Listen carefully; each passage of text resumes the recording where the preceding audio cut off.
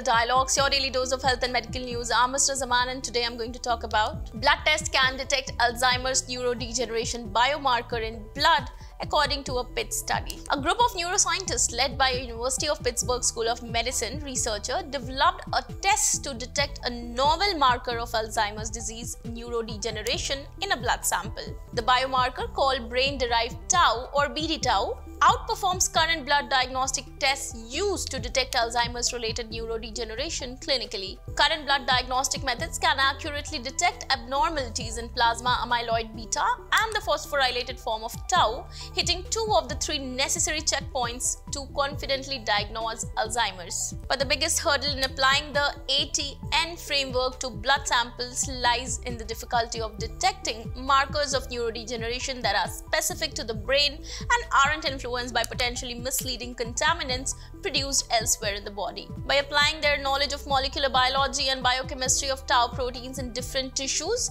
such as the brain, the researchers, including scientists at the University of Gothenburg, Sweden, developed a technique to selectively detect BD tau while avoiding free-floating big tau proteins produced by cells outside the brain. To do that, they designed a special antibody that selectively binds to BD tau, making it easily detectable in the blood. They validated their assay across 600 patient samples from five independent cohorts, including those from patients whose Alzheimer's disease diagnosis was confirmed after their deaths, as well as from patients with memory deficiencies indicative of early stage Alzheimer's. The test showed that levels of BD tau detected in blood samples of Alzheimer's disease patients using the new assay matched with levels of tau in the CSF and reliably distinguished Alzheimer's from other neurodegenerative diseases. Levels of BD tau also correlated with the severity of amyloid plaques and tau tangles in the brain tissue, confirmed via brain autopsy analysis.